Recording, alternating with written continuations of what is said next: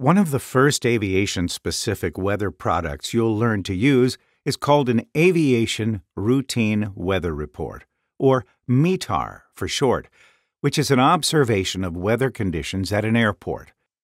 A METAR is generated from a collection of weather sensors that measure wind speed and direction, surface visibility, precipitation, cloud coverage and height, air temperature, dew point, and altimeter setting. The reported conditions are coded into a standardized format used by all airports in the U.S., allowing pilots to determine the current conditions at a glance. Many aviation apps and websites also provide a decoded report in plain language. While the decoded version can be helpful when learning to first read a METAR, it's important that you still learn how to decode a METAR on your own.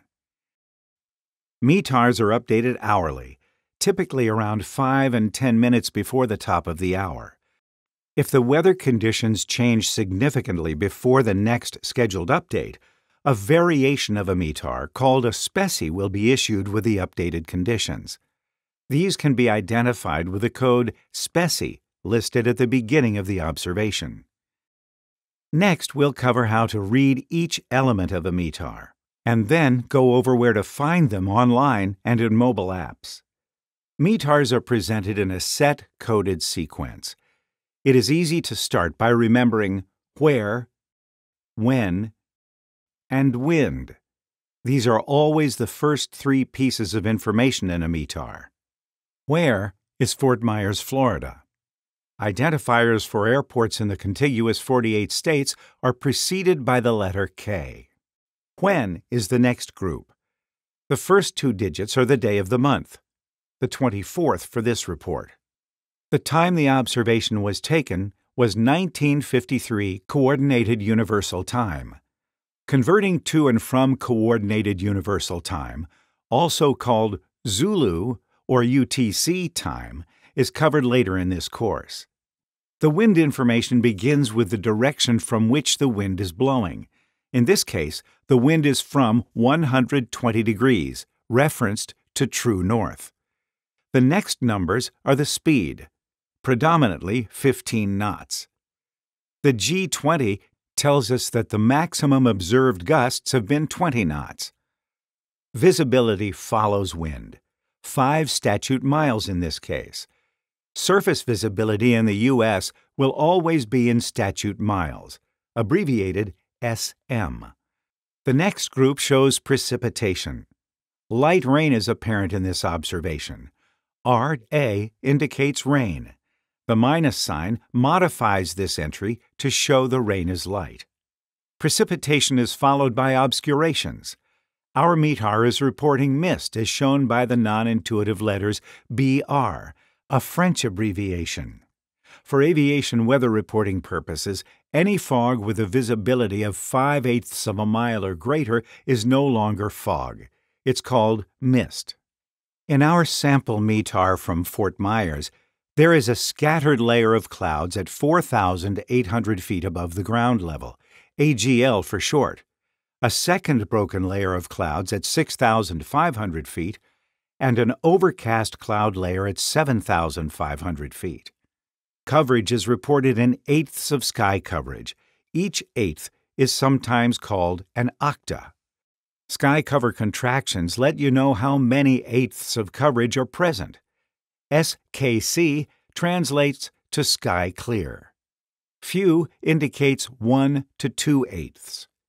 Scattered, which is abbreviated SCT, means 3 to 4 eighths.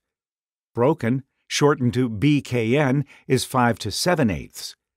And OVC, meaning overcast, is 8 eighths, or complete sky coverage.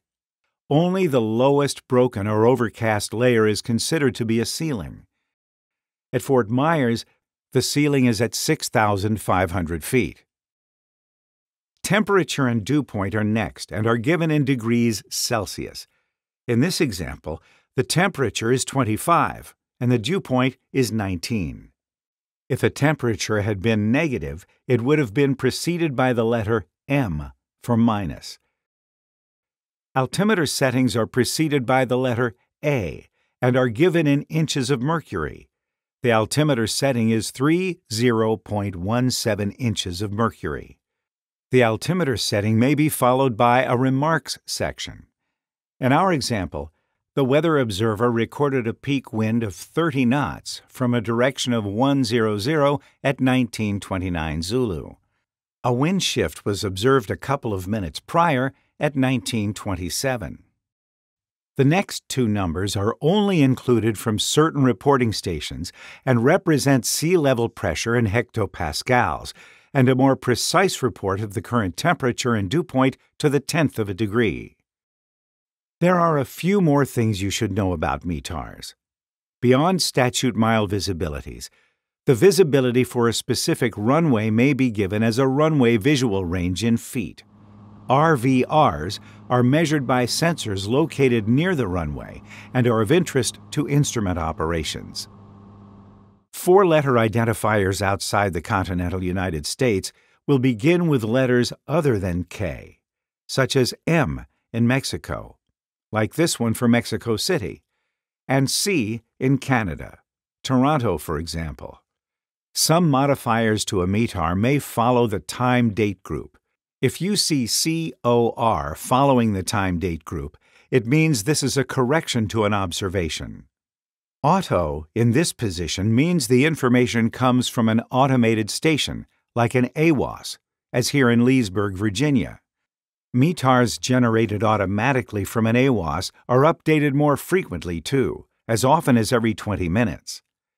The remarks section may note the type of automated observation sensor used. An AO1 type sensor cannot discriminate between freezing and non freezing precipitation. An AO2 type sensor can discriminate. Five zeros are used to report calm winds.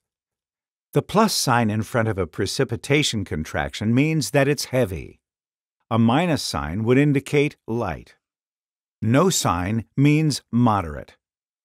Remarks may contain information regarding when a thunderstorm began or ended, or when some other weather phenomenon occurred. Here, a thunderstorm ended at 36 minutes past the hour, and the pressure is falling rapidly. The letter V separates two values when the indicated condition varies. So here the wind, while favoring 180 degrees, is actually variable between 150 and 210 degrees.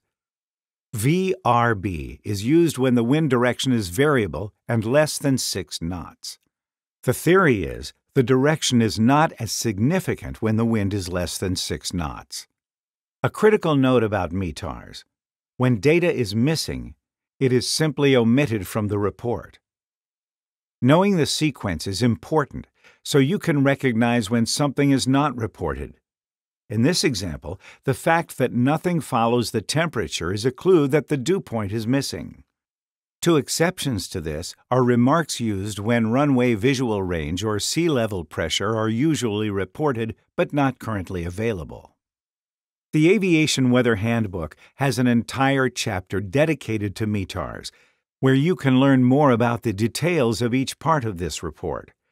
This includes a helpful chart to decode the notations used for precipitation and other weather phenomena. Now that we've covered how to read a METAR, let's explore where you can find them.